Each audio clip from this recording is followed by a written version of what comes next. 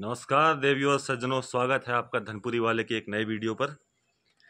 जैसा कि मैंने पिछली बार बोला था कि मैं आपको सिखाऊँगा बिना लाइटर और बिना माचिस के जंगल में आग कैसे लगा सकते हैं। सिर्फ़ एक गाड़ी के माध्यम से आपको आग लगाना सिखाऊँगा।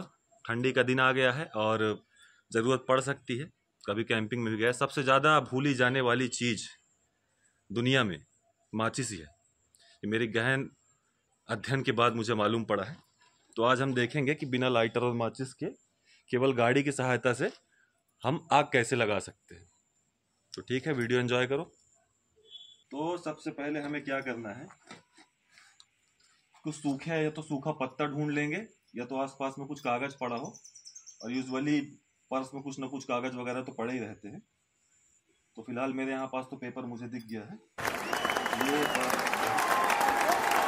ये एक पेपर का टुकड़ा मुझे मिल गया है।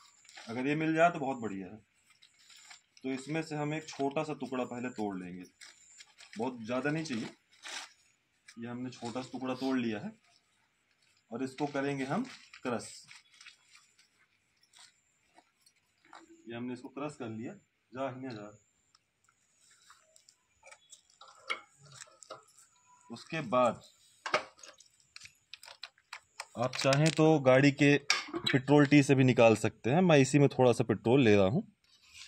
ये देखिए।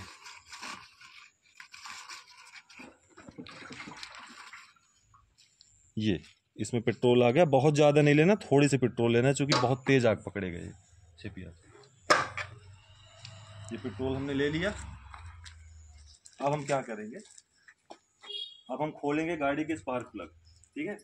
अब हम इसको खोलेंगे। ऐसे करके अपने को निकाल लेना है।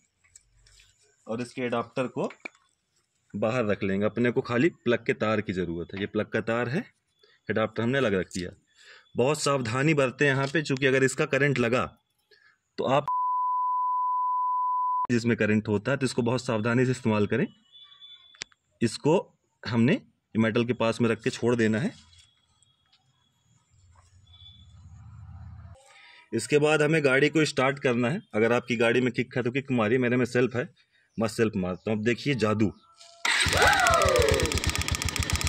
इसको अपन इसमें टच करना है थोड़ा सा ये देखिए।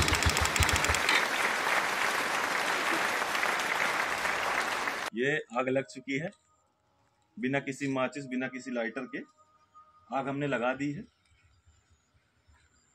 अब इससे आप कैंपिंग करिए, खाना बनाइए, फिर अपना हाथ सेकिए। ठंडी का दिन है। गाड़ी चलाते चलाते हाथ एकदम जम जाते हैं। ठंडी में पाला मार देता, हाथ जम जाते हैं। तो रास्ते में रोक कर आप अपने हाथों को नॉर्मल करने के लिए भी स्टिक का उपयोग कर सकते हैं।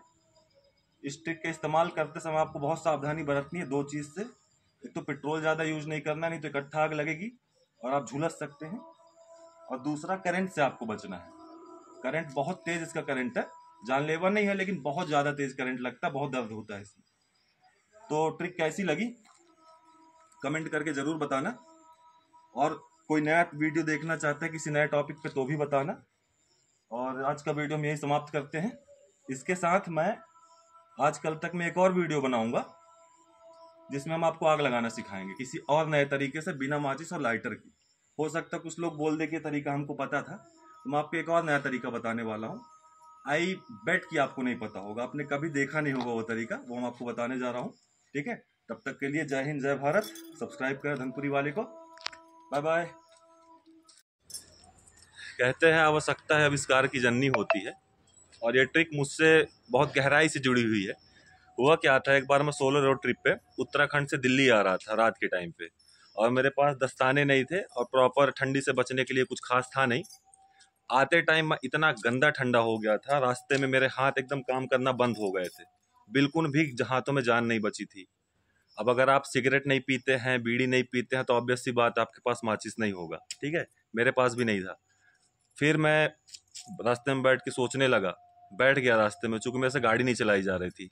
टेंशन लेते लेते लेते लेते मुझे याद आया कि गाड़ी में स्पार्क होता है, फिर ऐसे करते करते दिमाग में क्यूरियोसिटी जगी क्योंकि मुझे ज़रूरत थी। एज आई टोल्ड यू आवश्यकता है आविष्कार की जननी होती है। फिर मैंने दिमाग लगाया, मेरे पर्स में कागज़ था एटीएम की पर्ची थी, उससे मैंने आग लगाई और पत्ते और छोटी छोटी लकड़ियाँ बिन के वहाँ पर आग लगाई, अलाव जलाई और हाथ को सेका उस पर उसके बाद मेरे हाथों पे जान आई, तब कहीं जा कर के मैं दिल्ली पहुँचा था। तो ये ठंडी में आप सबके लिए बहुत ज़रूरी होने वाला है, खास करके जो लोग राइड करते हैं और दूर दूर जाते हैं, उनके लिए बहुत ज़रूरी होने वाला है। तो इस वीडियो को सेव कर लें और या फिर आप जानते हैं, जो राइड करते हैं, जिनको ज़रूरत हो सके, उनके साथ शेयर करें। ठीक है? जनहित में जारी।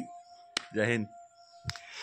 और काम हो जाने के बाद एक चीज़ मैं बहुत ज़रूरी संदेश आपको देना भूल गया था कि जब भी कभी अगर आप जंगल में अलाव जलाते हैं, ठंड से हाथ तापने के लिए, फिर कैंपिंग करने के लिए, किसी भी कारण से अगर आप जंगल में आग लगाते हैं तो भाई साहब घर जाने के पहले उस आग को पूरी तरीके से बुझा करके जाएँ, उसमें पानी डाल के जाएँ, पानी ना हो तो मिट्टी डाल के जाएँ, लेकिन वो आग को पूरी तरीके से बुझा कर ही घर जाएँ, क्योंकि वो आग बढ़ के जंगल में लग सकती है और पूरे जंगल को जला सकती है, जानवरों को नुकसान कर सकती है। इसलिए आपसे हाथ जोड़ कर गुजारिश है कि आग कहीं भी लगाते हैं तो उसे बुझा कर ही वापस वहाँ से जाएँ। धन्यवाद।